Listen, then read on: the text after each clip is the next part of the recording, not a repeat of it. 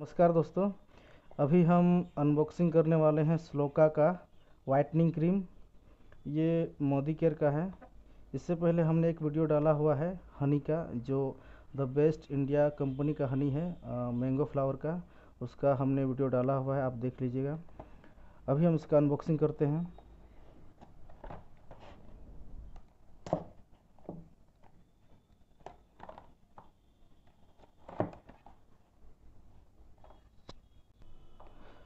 हाँ दोस्तों, ये क्रीम हमने लगा चुका है और मेरा परिवार का इस क्रीम का प्राइस हम आपको दिखा देते हैं। दो सौ सत्तर रुपया है और इंग्रेडिएंट्स तो बहुत सारा है, ये हम वीडियो में हम दिखा देंगे। इसका क्रीम हम निकालते हैं अभी। ये क्रीम हम लगभग एक डेढ़ साल से लगा रहे हैं। जब से हम लगा रहे हैं, मेरा फेस तो वैसे उतना ठीक नहीं है, लेकिन फिर भी जब से लगा रहे हैं, तब से मेरा फेस थोड़ा ग्लो कर गया है और चिकना हो गया है। और मेरे परिवार का सब लगाता है सबका वैसे ही हाल है, सबका ठीक हो गया है। तो हम सोचे कि आप लोग के लिए ये वीडियो बना के हम डाल दें कि आप लोग ये क्रीम के बारे में थोड़ा बहुत जान लें। इसके बाद जिसको यूज़ करना है, वो यूज़ कर लेंगे। हाँ दोस्तों, इस क्रीम का दो दो तरह का क्रीम आता है इसमें। एक आता है वाइटनिंग क्रीम और एक आता है फेयरनेस क्रीम तो हम मंगाए हैं वाइटनिंग क्रीम यही हमको सबसे अच्छा लगता है क्योंकि इसमें दाग धब्बा भी मिट जाता है और चेहरा थोड़ा ग्लो कर जाता है। और फेयरनेस क्रीम हम तो एक ही बार लगाए हैं, उससे अच्छा हमको यही लगा, इसलिए हम चाहे कि इसी को हम आप लोग को दिखा दें। चलिए इसको खोलते हैं।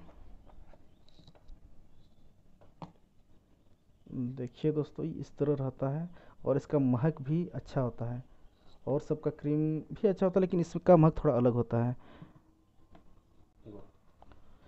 ठीक है, ये क्रीम इस तरह कलर इसका इस तरह है, मटमेला कलर मटमेला भी नहीं और सादा भी नहीं, उसके बीच का ये कलर है। ठीक है दोस्तों, इसका हम, इसका ढक्कन लगा देते हैं। हमको इसका बाकी सब तो अच्छा लगा, इसका पैकेजिंग भी अच्छा लगा हमको। इसका डिब्बा जो इसका फिनिशिंग भी अच्छा लगा कलर भी अच्छा लगा हमको।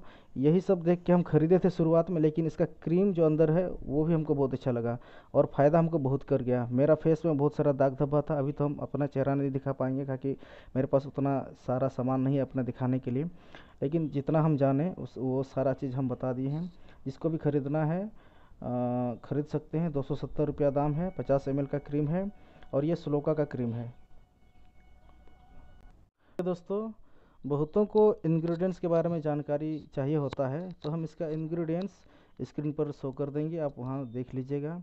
कि बहुत सारे इंग्रेडिएंट्स के बारे में दिया हुआ है, इतना सारा पढ़ पाना, एक वीडियो में उतना ठीक नहीं लगेगा, बहुत लंबा वीडियो हो जाएगा। इसलिए हम इसका जो इंग्रेडिएंट्स है शो कर देंगे। ठीक है दोस्तों तो इसका तो दो तरह का क्रीम आता है, एक वाइटनिंग और एक ठो फेयरनेस क्रीम हमको अगर फ़ोटो मिल जाता है तो फेयरनेस क्रीम का भी हम डाल देंगे।